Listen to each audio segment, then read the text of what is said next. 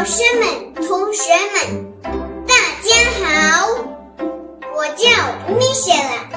今天我将为大家说说十二生肖的传说故事。你们知道吗？十二生肖是怎么来的？它的来历又是怎样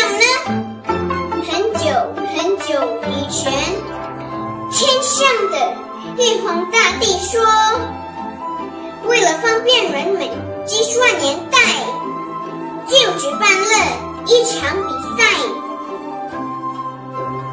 正月初一那天，最先抵达星殿的十二种动物，可以当十二生肖。比赛结束时，玉皇大帝就宣布